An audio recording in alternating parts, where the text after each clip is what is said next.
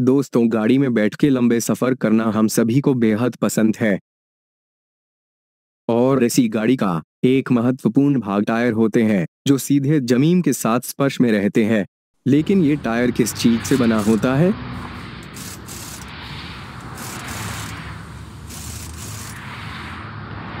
Tyre बनाने के लिए प्राकृतिक रबर को ही लिया जाता है, जिसका रंग सफ़ेद होता है।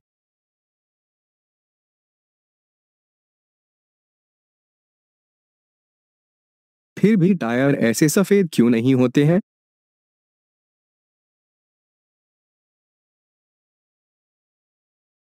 वास्तव में टायर बनाने के लिए रबर में ब्लैक कार्बन और कुछ केमिकल मिलाया जाता है, जो टायर को रंग में काला बना देता है, जिसके बहुत लाभ है, जैसे कि प्राकृतिक रबर का रबर प्रतिरोध पहन बेहद कम होते हैं, लेकिन ब्लैक कार्बन मिलाने के बाद रबर प्रतिरोध पहन काफ़ी वृद्धि हो जाते हैं।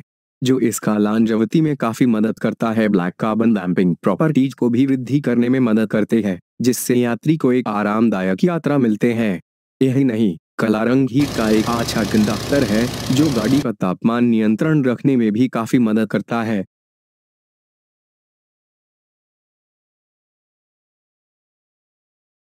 और इसके साथ साथ सड़क के साथ अच्छा पकड़ बनाने में भी ब्लैक कार्बन काफ़ी मदद करता है।